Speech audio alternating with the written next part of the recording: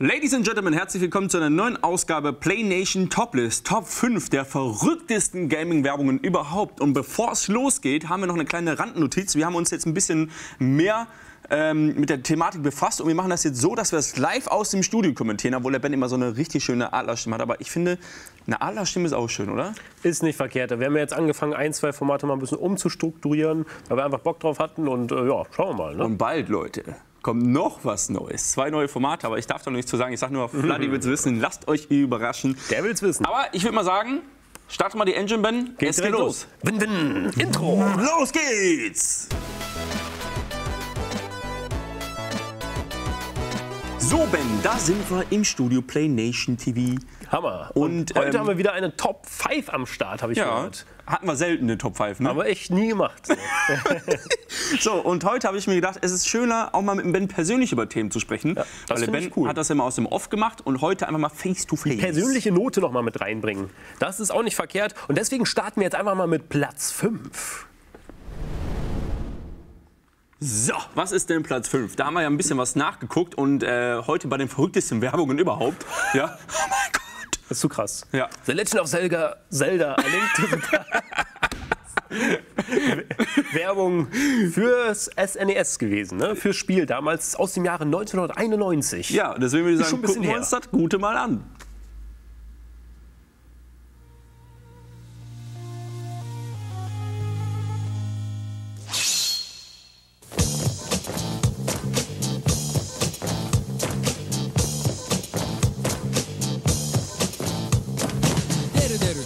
ダの伝説」「デルデルデルデルついに出る」「ゴージャス。今度の冒険」「リアル。君もすぐに体験」「憎いでやんすね昆虫ショー」「高画質の謎解きアクション」「戸惑うことなくのめり込もう」「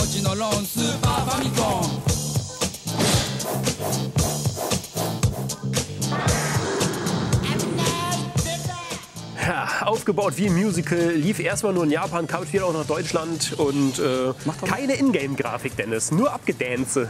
Was sagst du dazu? Ist das gut, clever von Nintendo, Also ich das wäre zu machen? ganz gern beim Dreh dabei gewesen, war ich aber leider nicht. Ich würde mal sagen, wir schwingen jetzt einfach mal Richtung Top 4, oder? Nummer 4. Platz 4.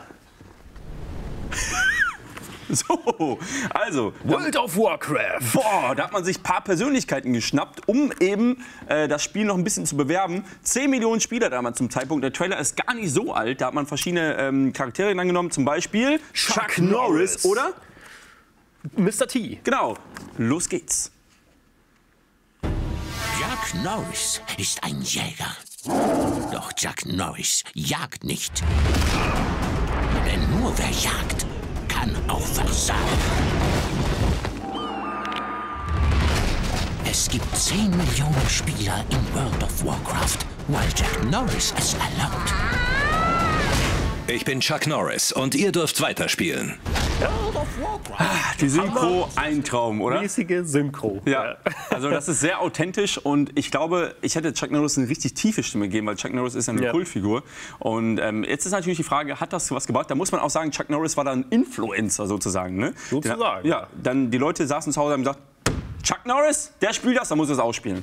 Ja, es gab auch noch ein paar mehr, wie wir gerade schon erwähnt hatten, Mr. T und auch sogar deutschsprachigen Raum. Äh, ja, und man muss sagen, das war ein bisschen selbstironisch angehaucht. Also Blizzard hat das nicht so ganz ernst genommen und es hat sich jetzt auch nicht an Ingame irgendwie orientiert. Also es gab jetzt keine Quests in der Werbung oder sonst irgendwas. War einfach eine coole Marketingaktion. Ja, so und weißt du was? Chuck Norris ist ja ein Jäger, ne? Ja. So, und ich jage jetzt direkt mal die Nummer 3. Okay, da hat sich Sony etwas gedacht, was ich sehr, sehr cool finde. Und zwar, wie du schon gesagt hast, selbstironisch soll man das Ganze ein bisschen angehen. Und es gab bei der PlayStation 3-Ära einen Mann, Kevin Butler hieß der, der hat das so ein bisschen aus dem Büroalltag gemacht und hat so ein bisschen ja, wie soll man sagen, die Marke veräppelt, aber auch mit einem sehr genialen Humor. Und da hat man äh, verschiedene so, ne- so, so verschiedene Teile einer Webserie gedreht und dann daraus Werbespots gemacht. Und wir gucken uns jetzt zum Beispiel einen Teil davon an. Dear PlayStation, I got a tip that you were making the PS3 299. Confirm or deny? 299 Bernie, you can't believe everything you read on the internet. That's how World War I got started. While 299 for the sweetest gaming, Blu-ray playing, movie downloading system in the world would be fantastic. No comment. But all that stuff says 299. Hmm? Right behind you. I'm sorry, you said something? So, und äh, der Witz dahinter ist, dass Kevin Butler ein fiktiver Sony-Manager ist. Unter anderem wurde auch PlayStation Move damit beworben. Das ist ja diese Bewegungssteuerung, die es damals für die PlayStation 3 gab. Gibt es jetzt auch für die PlayStation 4 in Verbindung mit VR. Ähm, und da hat man dann zum Beispiel gesagt, dass der Kevin Butler der Sony Vice President von realistischen Bewegungen ist. Ja? Genau, oder halt Gerüchteküche, wie wir gerade gelesen haben unten. Ne? Genau, also es sollte alles so ein bisschen äh, ironisch sein. Manchmal haben Leute das nicht so begriffen und gedacht haben, das ist ein bisschen real oder nicht. Aber wir sind auch Vice President oder sogar President of Nummer 2. So, da hat die Regie nicht mit gerechnet, dass es so eine Überleitung gibt. jetzt kommt ein Trailer, Leute. Das ist äh, der Moment, wo ihr euch alle eure Hosen runterziehen könnt, denn jetzt gibt es nackte Szenen. Ja? Und äh, da hängt beim Willi jetzt gleich die Hose auf halb drei. Atari Summer, ein äh, Werbespot mit einem eigenen Song und zwar Nothing's Hotter Than Atari This Summer und äh, kam damals. Ähm, 1982 raus, ja, glaube ich. Und der Trailer bewirbt Atari 5000, äh, 5200, meine Güte. so, das ist ja schon mal eine geile Sache und deswegen. Let the party started. Sexy and I know it.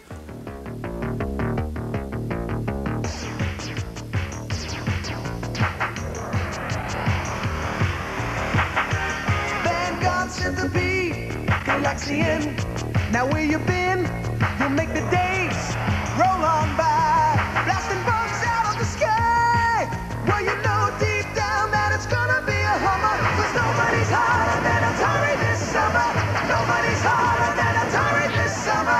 This summer, the really hot video games come from Atari.